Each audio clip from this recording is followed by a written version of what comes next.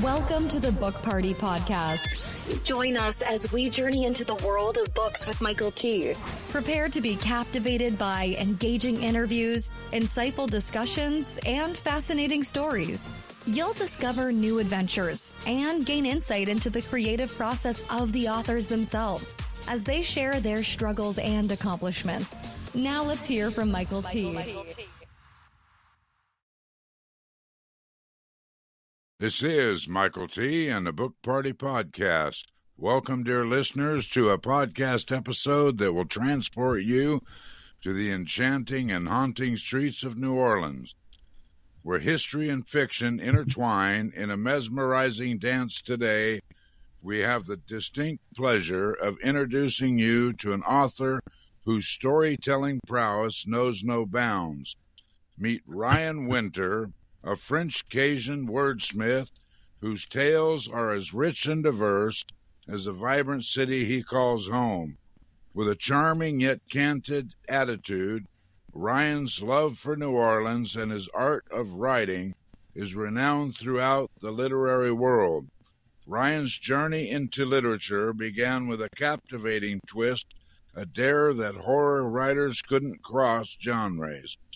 His first foray into the realm of creativity led to the creation of New Orleans Mother Goose, a children's picture book penned under the name Ryan Adam. But that was just the beginning. In his debut novel, Ravish, Ryan masterfully crafted a world where mythology intertwines with dark fantasy, LGBT themes, and an alluring touch of erotic. It's a testament to his ability to push boundaries and explore the depths of storytelling. And now, the piece de resistance, Wake the Devil, this historic fiction masterpiece is based on the chilling and true story of the Axeman murders that sent shockwaves through New Orleans in 1918. With a narrative that spans generations, Ryan Winter takes us on a journey through time where a dusty manuscript and ominous nightmares intertwine with the city's dark past.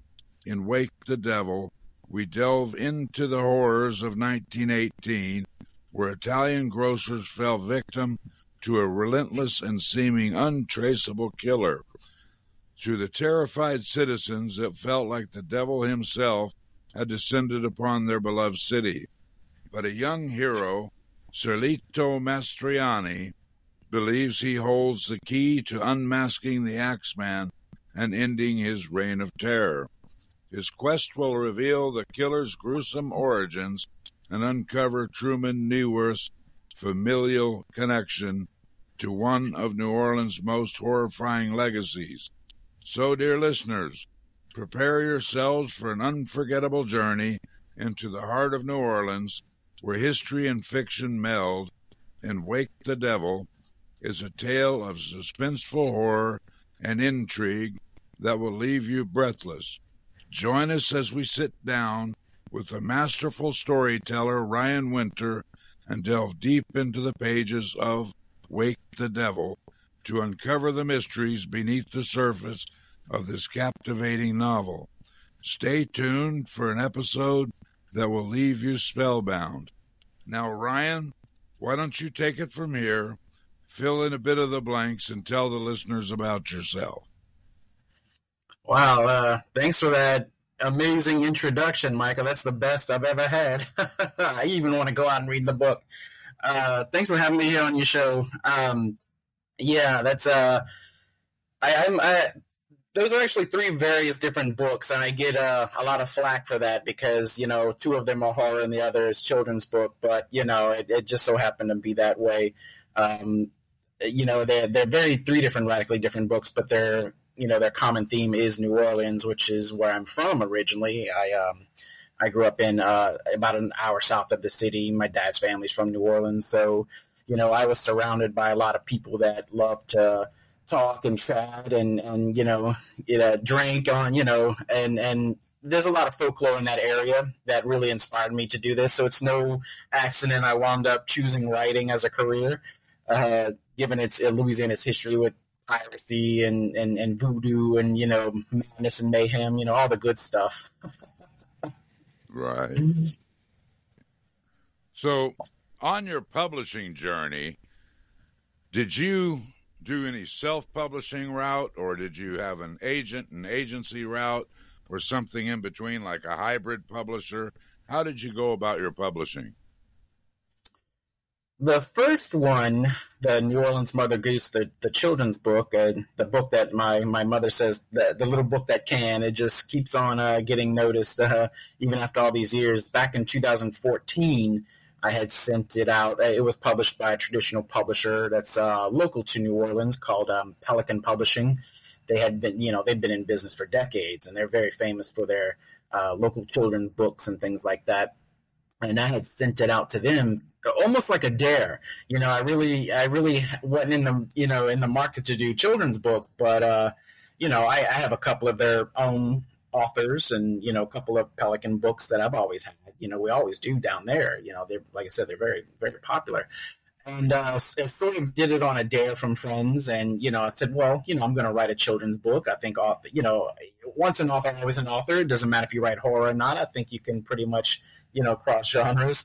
And uh, sure enough, it had gotten traditionally published by uh, Pelican, um, and uh, they they were really great. They embraced the project, and you know the next one was I knew was not I was not going to follow it up with a kids book, so I had a feeling that they probably wouldn't take my next book.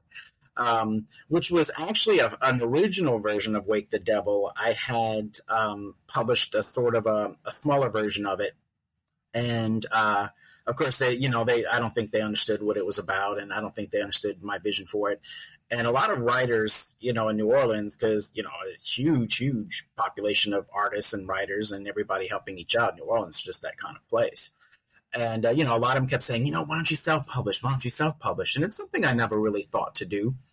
And uh, so the so that first um, version of Wake the Devil had been published uh, back around 2018, and I went through a vanity press, Lulu Press, um, which, which, was nice. It was fine. Um, uh, you know, after you know hanging, you know, being with them for about a year or so, I didn't find I had as much control as I thought. And then, of course, you know, Create Space became Amazon KDP and it just that formula got better and better. So a lot of people were switching over to that, and you know that's what I did with Ravish. You know, when Ravish came around, I knew that's where I wanted to put it.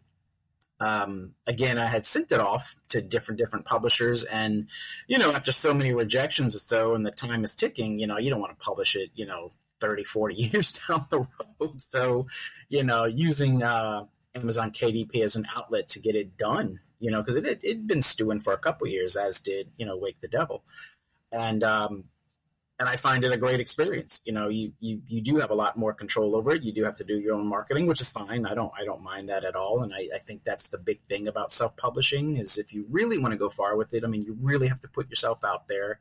You know, you can't sit back and let it just sell itself and uh, so you know and i've always had a great relationship with them and so you know when the idea of coming back to Wake the Devil to revise it into an original that I wanted to do um, is what's published now, which I published uh, a few months ago. So uh, I've kind of had my hand in in in, uh, in all three, you know, to, to fine top it off. Well, you know, I, I wrote my first three books. I self-published them. I'm working on number four now, and I'll nice. self-publish that under KDP as well. And like you said, yeah, you got to right. do the marketing, and and I'm not afraid of that. So, you know, I'm mm-hmm. I'm just gonna take it that way. On this current book that we're talking about, take us to a point that you would consider your worst author moment when you're writing this book because wake the nature i think of wake the devil is historic fiction there's a lot of um, there, there's a lot of details. There's a lot of research into it. And the thing is, when I first started in research for Wake the Devil, when the idea came to me, this is back in 2004. Um, you know, there was very little information released at that time. And so I think in my first version, there was a lot of facts that I found out later on that oh this is what happened oh it wasn't this it was this you know and i think those kind of that's kind of frustrating but also too again it's the nature of it you know the the research i had done was strictly through you know police records um, newspaper records at that time which is kind of the point of why i wanted to uh, the point of view of the book is mostly through the citizens' point of view because that's what they saw. They read the papers, they heard what the police said, and this is how they knew what was going on with the Axeman murders and all that. So that's kind of the point of the book. But it, there's so many times where I was frustrated where, you know, the, one newspaper said, eh, you know, he was 46 and his last name was spelled this way. And then the other newspaper said, oh, no, he was 29. And so to do something that's historical fiction, you try to get it as correct as possible. But man, Michael, it's, it's frustrating when you learn new information, even after you finish the book. It's, it's kind of a pain to go back and figure that out. So you kind of just do the best you can with what you got, I guess. Yeah, I guess so. Well, flip the coin a little bit, and let's go with what we call the epiphany moment, where you're not actually writing the book, but you're doing something else. It could be taking a shower, it can be taking a drive, it can be cooking or having a beer, and all of a sudden a light bulb goes off in their head. It's like, oh wow, I got to get a pen and paper. I got to write this down right now so I don't. It doesn't degrade, you know, the thought. Yeah. You have a moment like that you know that's it's this probably cons- it would be considered a, in a um, epiphany moment. I, you know, I started the book back in 2004 as a script, and it just kept. The more research I, I, I did, it, the more it kept going. So it got bigger. I said, "Well, I have a book here," and um, years later, I had picked it back up again. You know, Katrina happened, everything got put on pause. So after you know a couple years later i'm you know i pull it out of a drawer again. Said, you know i think i'm ready to write this book. You know i think there's something interesting here. And on the first night i remember um, i was having crazy crazy you know nightmares that someone was after me you know and and to me every time i started the first chapter these weird things would start happening. But i think the real moment for me when i realized like oh i've got to finish this. I don't know if i can do it tonight because i'm you know i've spooked myself. But there was a couple of moments i tried to start back on the book and uh the one, the more memorable one I can remember, it was back in um, around 2015 in January, and, and New Orleans doesn't get terribly cold, but uh, it was very cold that night. I remember ice hitting the windows and things like that, and I was by myself, and my roommate was at work, uh, and, and this is at night, and uh, it started back on the book again, and I'm telling you, I got this really eerie feeling, you know, and I felt like, God, what if the Axeman himself is watching me right now, you know, mm-hmm. write his bio, you know, and, and we're just waiting for me to slip up. And sure enough, I, I halfway through a few paragraphs, and I can hear a, a dragging sound on the porch, and it it it, it kind of spooked me out. And all I kept thinking to myself was, sounds like an axe, the metal of an axe, you know, mm-hmm. scraping against the cement porch and I think at that moment, I said, man, you know, I think this is going to be a really good book. you know, if I can, if the author is scaring himself trying to, you know, belt this out, then there's something there. So from then on, I always had this, um, I guess this deep respect for the material because I kept thinking, man, the Axeman's watching. You know, he's, he's telling me, you better not screw up, Winter. You better not screw up.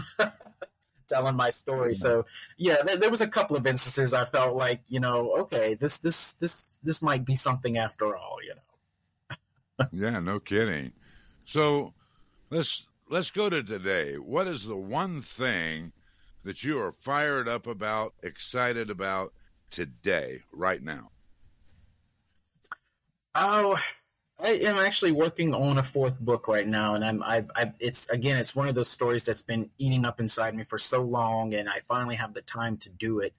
Um, I'm really excited about it. It's it's it's you know it's not to give too much of it away. It's sort of a sci-fi. It's sort of a biting satire on um, the day uh, the gay dating world today and the dating apps and things like that. So you know it's something I've been wanting to do, and I'm really really excited about it. You know I, I I tend to out I do a general outline in my book, so I have an idea what it's going to happen, what's going to happen, and all that. But it's in the moment when you're writing, you know, that you find this little magic. Like, oh man, this is great, this is great. So it really makes you want to get up in the morning and say, okay, I can't wait to get back to this again. So um, I have that, and and and uh, there's a book behind that I'm actually excited about starting on too. But you know, I try to do two books at a time, and oh my gosh, it's it's a nightmare. But so following one about, by you talk about cross genres, man. You're the guy that's crossing them all.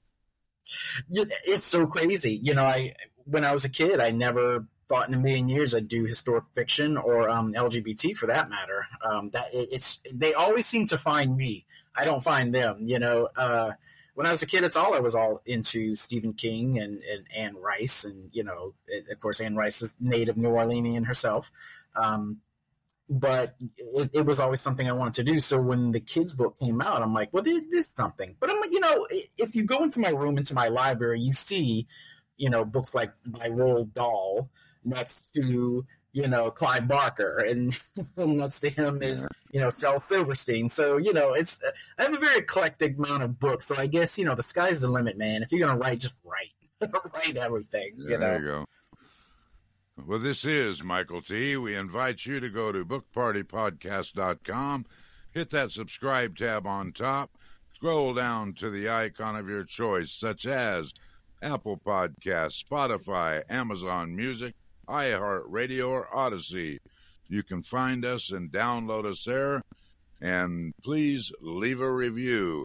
And please don't forget to sign up for our video newsletter. Get the latest information for our upcoming shows. Now, Ryan, we're going to enter the lightning round. The lightning round is four pointed questions for four pointed answers. Before okay. you ever became an author, before you wrote your first book, what kept you from becoming an author in the first place? Time, time, uh, working, working, you know, nonstop, doing a lot of overtime, doing normal jobs. That's that's what really it, it puts a damper on on the time you have to to actually set aside to write. Okay, well, what was the best advice once you started writing, what was the best advice you had ever received? There was, there was, and this actually um, happened when I was a young teenager when I first started doing it. That I, uh, more than anything, I wanted to be a screenwriter. I wanted to be a writer of any kind, but screen at that time, screenwriting was my thing. I had walked into uh, um, an accountant's office in downtown New Orleans, just little old thirteen year old me and you know i walked in there and he sure enough this this accountant saw me and i went in there because i had questions legal questions about contracts and all that. And he told me you know we were talking he asked me what i was writing about and all this other stuff. And uh, he says um, you know I, I, said i never know if anybody's going to like what i write. And he said mr Warner, you can write about pie and someone's going to read that book. He said don't ever think that no one's going to read your book because someone will you know uh, you can write about anything. So there's going to be an audience for it. that's one of the first, um, you know, advices I ever got when I was younger. It's always stayed with me. Yeah, that's that's true. You know, there's going to be an avatar for something. Long as it's coming from mm-hmm. you, there's going to be an avatar for it. Right. You write true. If you want, yeah. You know. Yeah. Share one of your personal habits that contributes to your success you got to get up and do it. You know, a lot of writers are cleaning their office for two, three hours before they even sit down and write a line. The best advice is uh, put the butt in the seat and go. You know, it's not going to get done if you don't. You know, it, it, we we imagine things and we want we want it to magically appear, but not until you sit down and do it. You know, and it, for me, when I finally do, you know, take my own advice and I do sit down, off I go, and I don't get up until it's done. But to right. finally down and say, just sit down and do it. Stop, stop mingling in the background. You know. Okay, can you share with our listeners an internet resource that you use when you write? Hmm, that's a really good question, Michael. Um, I'd have to, I, I, you know, I use YouTube a lot. YouTube has a lot of fun stuff. They, there's so much different creativity on there that I always, even if I spent 10 minutes looking through YouTube videos, and I love all the spooky stuff, I watch all the ghost things, all the paranormal things, I always find something fascinating that I didn't know before. And it almost, you know, you know, eight out of 10, I usually wind up coming away with a short story idea based on something I kind of saw. Okay. I'm a well, YouTube Ryan, we, You're YouTube crazy, huh? Well, Ryan, we're going to enter into the grand finale. In the grand finale, I want you to take your time and tell our listeners about your book. Mm-hmm. Wake the Devil, um, just a quick uh, little surmise how, how it came about. I, um, you know, I lived in the French Quarter my whole life, so I'm surrounded by a lot of crazy stories and things like that. And I came across the story of the Axeman through books about haunted history in New Orleans. And, you know, a lot of those you have to kind of give and take because some of it it's like, what? No, that didn't really happen. And I think, you know, I always saw him as sort of a footnote in all these books. So it intrigued me. I said that, you know, he's one of those stories I read that said, God, did that really happen? And I had asked a lot of um, older locals if they even heard about this, you know, and oh no, I never heard the Axeman. And, you know, this is back in 2004 and, and now there's there's a lot of stuff about him, but back then there wasn't anything, and there was just something so intriguing about it. And this guy, uh, May twenty third, nineteen eighteen, um, this Italian family, these these seemingly great citizens, no enemies whatsoever. You know, this couple was uh, massacred in their bed behind their grocer, and it shocked the city because it wasn't just like some regular, you know, kill. This was a slaughter, and that was just really even for New Orleans, that was too much. And there was just a lot of intriguing things about it, you know. Um, at that time, with the police and all that, you know, they didn't fingerprinting had just started. In fact, it was even laughed at by by the force. They didn't even want to use it. So a lot of that stuff was instinctual. And you know, of course, the DNA. I mean, that's way off. And but there was little things that the police noticed that was kind of odd about this guy. You know, he would chisel out the back doors of these victims, in in you know, and he would do it, you know, in such a way where he couldn't fit through, and they couldn't understand how can a large man fit through these these panels. You know, he wasn't reaching in and grabbing keys. I mean, these doors were locked, but um, and that was the only thing he really left behind besides the axe itself, which he used. Um, on his victims, but the axe always belonged to the victims. I thought that was really sick. And I'm like, that's crazy. Use their own axe against them. And he would leave it behind him, but that was all his MO for a while, and they, they just couldn't understand it. And there was a message on, on um, which I thought this was really cool, um, written in chalk on, on the sidewalk during the first murder. And it had something like, Mrs. Maggio is going to sit up tonight, just like Mrs. Tony. And nobody knew what it meant. And so the lead um, chief of police at that time, his name was Frank Mooney, and you'll see him throughout the book. He's he's one of the main characters. You know, he started to piece together that just ten years prior to 1918, there was similar murders, and it was again Italian grocers mostly, and of course it was all written off as as the mob, which was a big thing at the time. Of course, you know, it's the first thing they thought of was uh, the Black Hand Group, which was this you know uh, version of the mafia. And but then he started reading the message, and the Mrs. Tony in the message referred to some one of the victims back then. So it was very bizarre. It's all these weird little revelations, but they, they really couldn't piece it together.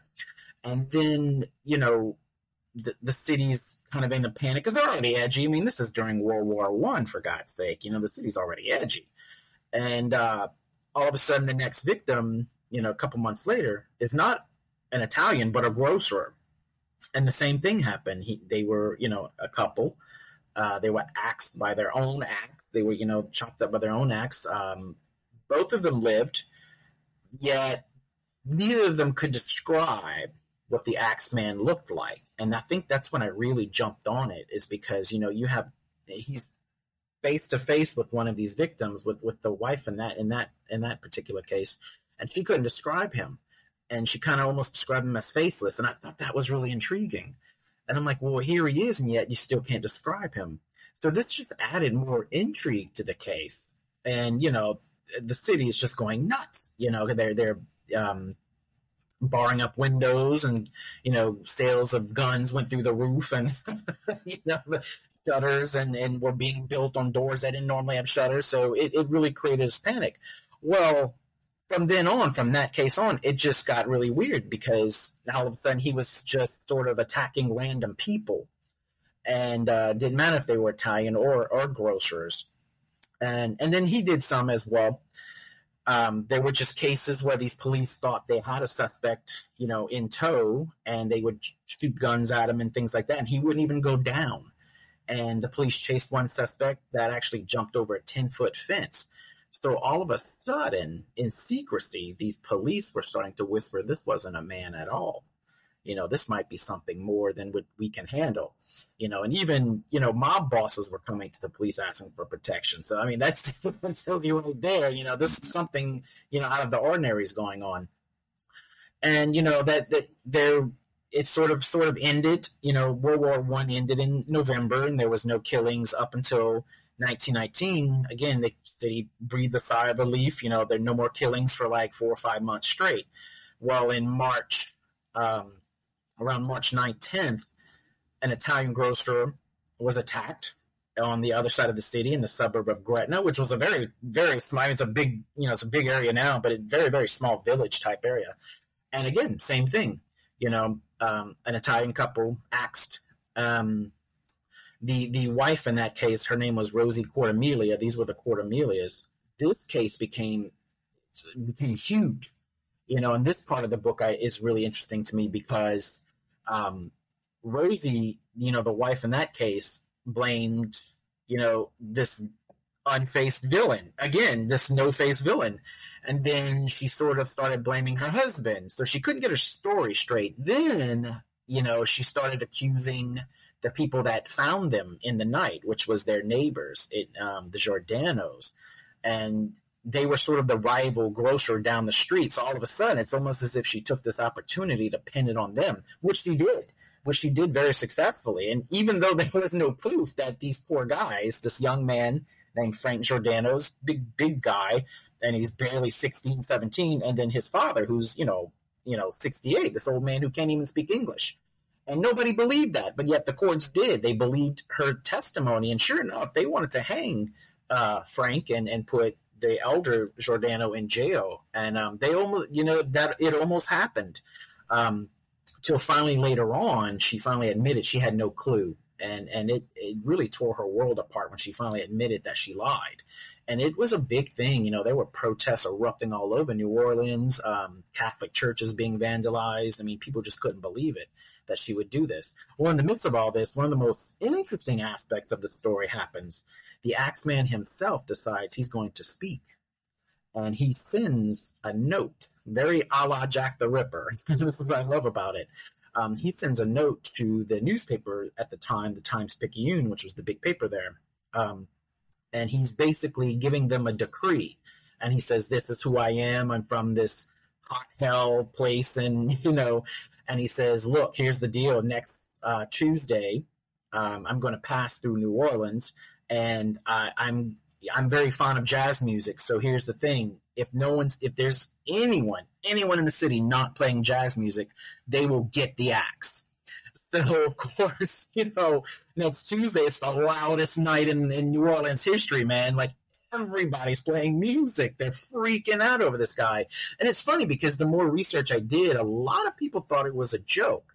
You know, you had a lot of people thought it was funny. A lot of people was, of course, obviously frightened to death. You know, um, there was advertisements in in the local uh, grocery uh, chain supermarkets called the Piggly Wiggly that they would advertise. You know, little things like um, you know we're slashing sales just like the Axeman would and things like that. And people didn't thought that. Some people thought it was cute. Some people were just appalled. So of course, you know, in New Orleans fashion, they're going to take this. You know, they're going to make a, a, a, pageantry out of it. Uh, even a local uh, musician named um, Joseph John Davilla composed this cute little um it's almost like a ragtime ditty and you can look it up on youtube if you want it's uh called the axeman's jazz don't scare me papa and it's the most kind of upbeat, almost you know ragtimey piece you would never think was dedicated to a murderer. And again, a lot of people thought that was in poor taste. You're writing this music, you're selling it, and this guy's killing everybody, but yet we're celebrating him with this piece of music. And so the night of that uh, that Tuesday when he came over, you know, every band is playing. Band sales went through the roof. Instrument sales went through the roof. Um, even Davilla himself would play his uh, composition on a piano while on a cart going around the French Quarter all night. I can't get that image out of my head. That that's that's insane. That's so New Orleans, though. I mean, that that doesn't surprise me. But uh, sure enough, you know, the next day there were no reports of any murders. So whether he did it or he came or not, or you know, Um, even a fraternity from uh, Tulane University, one of the big universities in, in the city, had even gave him an invite to one of their parties. And, uh, you know, they said, look, you know, we know you're fond of breaking down doors. We'll keep the doors open for you. Come to our party. Now, you know, whether he came or not, you know, who knows? Nobody knew who he looked like. Um, so it, it, it was just this big, big thing. And in the mean, you know, after all this is going on, there's a couple of trials. Um, from the uh, the second murder case, the Besumers, that there was a huge trial then, and there was the huge trial with the Cortimiglias and Giordano. So it was consistently in the news, and the attacks didn't stop, you know, until about October, and there was one last slaughter. It was a um, uh, an Italian man, a grocer named Mike Pepitone, and his wife Esther. Uh, he flat out kills Mike and Esther, who was with her children in the next room survived. And uh, once again, you know, she can't d- describe who the assailant was. And she, in fact, she even says there were two people there. And then she changes her story and she says, oh, there was only one person there. And the guy was, you know, tall and thin. And then, you know, a few weeks later, she's saying, oh, no, it was large fat man. And so, again, no one can know. And all of a sudden, you know, after that time in October 1919, it completely stopped. And that was it. He, he never came back. There was never another axe killing. And there's one little interesting note that's not really mentioned. I, I kind of mention it, but uh, you know the, the the the victim, the last victim, Esther Pepitone, um, the widow of Mike Pepitone, um, she moved to Los Angeles a few years after that, around 1921, and she swears up and down she knew the identity of the Axeman, this guy named Joseph Mumphrey. And this guy has been through so many different names. And again, I doing research, it was so hard to keep track of who was who. You know, everybody names were being misspelled. I mean, this is you know, there's no internet. Nobody knows what you know. They're just going off you know testimonies and things like that. But anywho, she um, claimed this man came for her and that she knew who he was, and she actually shot him on a on a New Orleans, um, a Los Angeles sidewalk down in, in um, December fifth, nineteen twenty one. It, it was that the accident. We don't know you know, she was convinced, but and that's the end of the story. I mean, that's you know, there was never an incident like that again. So, you know, basically you had this guy who came in the night, you know, early 1918, and for a full year just terrorized New Orleans. You know, it was it's absolute chaos. Kind of like the you know the American Jack the Ripper, as I say. And some people even thought he was Jack the Ripper. They thought he left London and came to New Orleans. So again, you know, another little tidbit that couldn't yeah. be substantiated. So, well, Ryan, we thank you so much for being here with us today and opening up to us. I'm sure our listeners it. appreciate this too. Again, uh, this is Michael T. To all our listeners, I would invite you to go to bookpartypodcast.com, hit that subscribe tab on top, Scroll down to the icon of your choice where you can find us on one of your favorite platforms, such as Apple Podcasts, Spotify, Amazon Music, iHeart Radio, or Odyssey. You can download and follow us there. Please leave a review. Don't forget to sign up for one of our video newsletter and get information on our upcoming shows. Book Party Podcast is owned and powered by MPM Legacy Publishing LLC. This is Michael T. Powering Off. You must not miss our next episode as we delve into a world of inspiration, entertainment, and thought provoking insights. Join Michael T on the next Book Party podcast and experience a new adventure, a new story, and a complete immersion into the world of Pages Unveiled Chronicles of the Writing Journey.